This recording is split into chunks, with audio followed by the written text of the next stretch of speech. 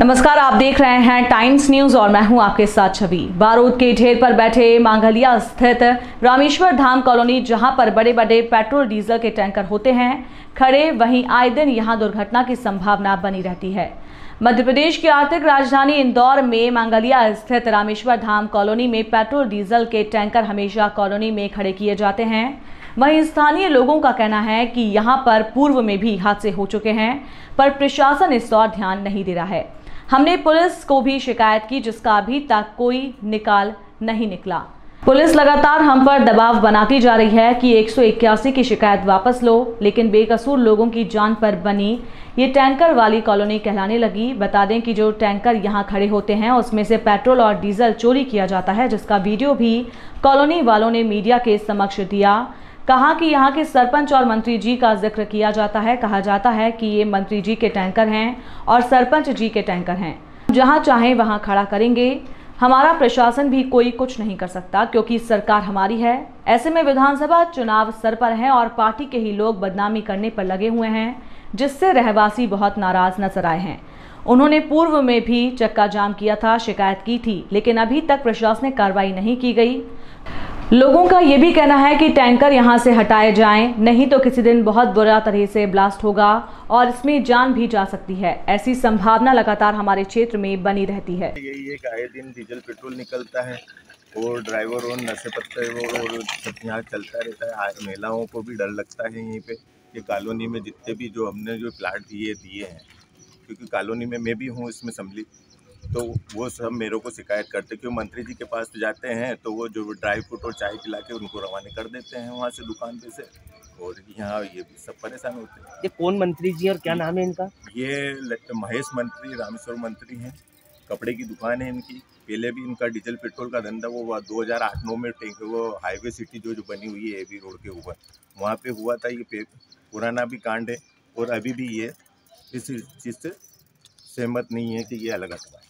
आज आप क्या चाह रहे हैं प्रशासन से और मैं प्रशासन से ये चाह रहा हूँ कि ये टैंकर वैंकर ये सब बंद होना चाहिए और आम आदमी को सुविधा मिले। आपका परिचय। अनिल शर्मा। समस्या ये है इससे कभी कोई बड़ी दुर्घटना हो सकती है। या बच्चे भी खेलते हैं महिला भी निकलती है रात को ये क्या करते हैं हमारा गर्दी दारू पीते हैं गांजा पीते करके मान लो कोई ऐसी घटना घट जाए जिससे महिला की असमत पर आज आ जाए इसके जिम्मेदार कौन? दूसरा सेकंड ये है कि यहाँ पे अधिकतर टैंकरों का निकलने का समय जो रहता है, वो जो पास में स्कूल है नवनिकेतन पब्लिक स्कूल पड़ता है। वहाँ के बच्चों का और आप भी ऑब्वियसली जानते हो कि सारे जो भी स्कूल टाइमिंग है, वो सुबह नौ से दस के बीच का रहता है और उसी समय टैंकरों का निकलना भी होता है।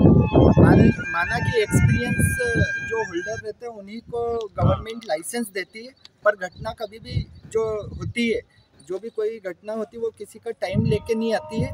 कभी किसी से कोई भी चूक हो सकती है इस कंडीशन में इस समय जो टैंकर का निकलना होता वो भी एक घातक है। और चूँकि ये रहवासी इलाका है, या ये कोई कमर्शियल लॉट नहीं है, इसलिए मेरा भी यही ओपिनियन है कि भैया जो भी टैंकर वगैरह है, वो एक निश्चित लॉट लेके परचेज करें, जिनके भी हैं वो आपस में मिलकर, और सारे टैंकर वहाँ पे खड़े होना चाहिए। मतलब ये रहवासी इलाके में टैंकर की अनुमति, और वो भी भरे हुए टैंकरों की अनुमति तो बिल्कुल नहीं होना चाहिए, खाली भी नहीं आना चाहिए या किसी कंडीशन से आते हैं तो इन पर बैन लगना चाहिए। सर पुलिस प्रशासन चूँकि मैं तो रेंटेड हूँ और आ, मेरे इतना जो है इतने संबंध नहीं है मैं खुद भी थाने से बिलोंग कभी गया नहीं हूँ इसलिए मैंने कभी जाने का आगे बढ़ने का कभी सोचा नहीं है।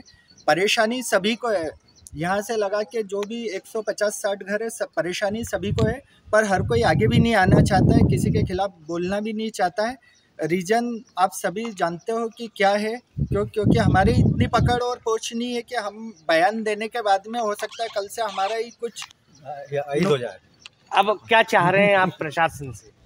आ, मेरा ये मानना है कि हम ये चाहते हैं कि यदि कोई चीज़ रेसिडेंशियल के लिए अलॉट है तो उसका पूर्णतः जो पालन किया जाना चाहिए अनुशासन के हिसाब से गवर्नमेंट लॉ के हिसाब से वो सारी चीज़ें होना चाहिए। यदि कमर्शियल लॉट होता तो हम खुद ही जो है रेसिडेंशियल प्लॉट यहाँ पे ख़रीदते नहीं और रहते नहीं।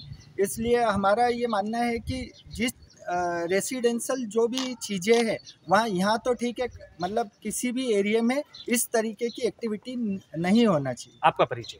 मेरा नाम पवन पटेल है मैं 280 बी रामेश्वर धाम में रहता हूँ और ये समस्या यहीं की टाइम न्यूज़ देखिए अब